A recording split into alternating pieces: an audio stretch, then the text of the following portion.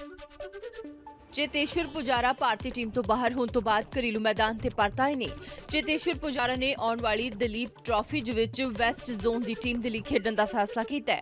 ਉਹ ਟੂਰਨਾਮੈਂਟ ਖੇਡਣ ਦੇ ਲਈ ਰਾਜ਼ੀ ਹੋ ਗਏ ਨੇ। ਪੁਜਾਰਾ ਦੇ ਨਾਲ ਇੱਕ ਹੋਰ ਭਾਰਤੀ ਕ੍ਰਿਕਟਰ ਸੂਰਿਆ ਕੁਮਾਰ ਯਾਦਵ ਵੀ ਵੈਸਟ ਜ਼ੋਨ ਟੀਮ ਦਾ ਹਿੱਸਾ ਹੋਣਗੇ। ਟੂਰਨਾਮੈਂਟ ਦੀ ਸ਼ੁਰੂਆਤ 28 ਜੂਨ ਨੂੰ ਬੈਂਗਲੁਰੂ ਤੋਂ ਹੋਵੇਗੀ। ਚੇਤੇਸ਼ਵਰ ਪੁਜਾਰਾ ਤੇ ਸੂਰਿਆ ਕੁਮਾਰ ਯਾਦਵ ਨੇ ਰਤੂਰਾਜ ਗਾਇਕਵਾੜ ਅਤੇ ਯਸ਼ਸਵੀ ਜੈਸਵਾਲ ਦੀ ਥਾਂ ਲਈ ਹੈ, ਜਿਨ੍ਹਾਂ ਨੂੰ ਵੈਸਟ ਇੰਡੀਜ਼ ਦੇ ਟੈਸਟ ਦੌਰੇ ਦਿੱਲੀ ਚੁਣਿਆ ਗਿਆ ਹੈ। ਮੁੰਬਈ ਕ੍ਰਿਕਟ ਸੰਘ ਦੇ ਸੰਜੇ ਪਟੇਲ ਦੀ ਅਗਵਾਈ ਵਾਲੀ ਪੱਛਮੀ ਖੇਤਰ ਦੀ ਚੋਣ ਕਮੇਟੀ ਨੇ ਕਮੇਟੀ ਦੇ ਬਾਕੀ ਮੈਂਬਰਾਂ ਨੂੰ ਉਸ ਦੇ ਸ਼ਾਮਲ ਹੋਣ ਦੀ ਜਾਣਕਾਰੀ ਦੇ ਦਿੱਤੀ ਹੈ।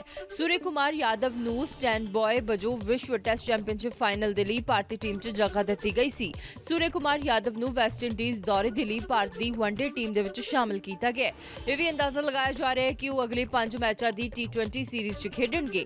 ਹਾਲਾਂਕਿ ਇਸ ਸੀਰੀਜ਼ ਦੇ ਲਈ ਟੀਮ ਦਾ ਐਲਾਨ ਹੋਣਾ ਬਾਕੀ ਹੈ। ਵੈਸਟ ਇੰਡੀਜ਼ ਚ ਵਨਡੇ ਸੀਰੀਜ਼ 27 ਜੁਲਾਈ ਤੋਂ ਸ਼ੁਰੂ ਹੋਣ ਤੱਕ ਦਲੀਪ ਟਰਾਫੀ 16 ਜੁਲਾਈ ਨੂੰ ਪੂਰੀ ਹੋ ਜਾਏਗੀ। ABP ਸਾਂਝਾ, ਜੋਸ਼, ਜਜ਼ਬਾ, ਜਨੂਨ।